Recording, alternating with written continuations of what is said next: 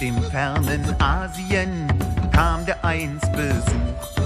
Es war die Tante Leimingwei, gehüllt in feinstes Tuch. Sie sprach so anders, ah so anders, lief so anders, denn mit klitzekleinen Tippelschritten schien sie stets zu rennen. Und dann kaum zu glauben, die winzigen Augen lächelten fast die ganze Zeit.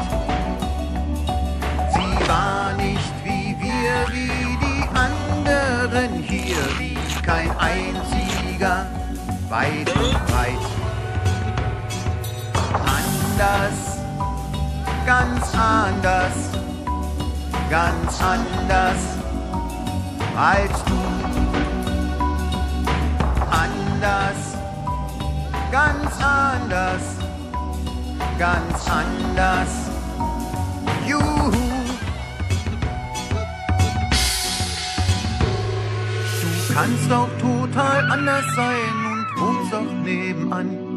Egal woher, egal warum, jeder so anders wie er kann. Für irgendjemand ist man immer anders oder fremd, doch meistens ist er selber anders oder nur verklemmt.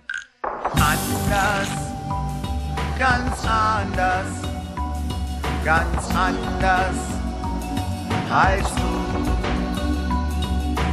Anders, ganz anders, ganz anders. Juhu.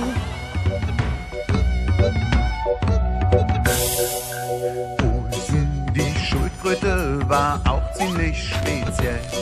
Von seiner Art, von seinem Wesen und ganz generell. Besonders sein Musikgeschmack ist ziemlich originell. Er tanzt dazu so seltsam und bewegt sich nicht so schnell. Der mit seinem Panzer kein halber, kein ganzer, mit unglaublicher innerer Ruhe. Er ist nicht wie wir, wie die anderen hier und gehört genau deshalb dazu. Anders, ganz anders, ganz anders als du. Anders, ganz anders, ganz anders. Juhu.